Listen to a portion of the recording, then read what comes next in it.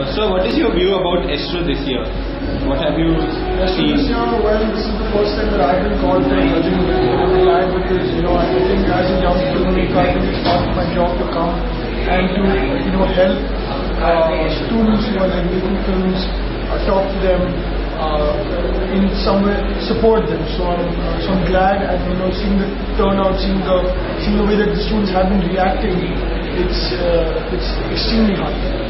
Uh, and what did you think about entries, uh, specifically? these were very good. What I felt was, uh, you know, that I that I do know that these are not professionals, and we weren't so much so looking at the technical aspects of the film, but the subjects that these students had chosen were also hard hitting, uh, which just means that uh, you know we're a nation that is capable of, of a lot of sympathy, a lot of great heart.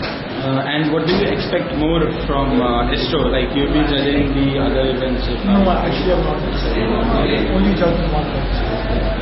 So, sir, uh, what would be the next uh, film that director or producer will be Next movie, I think, what are you You want doing? me to say Future. Well, uh, future plans, uh, I, I plan to travel. I, I like traveling, so I'm, um, I'm going on a road trip to South America, which should be fun when I get back and I start shooting my next film.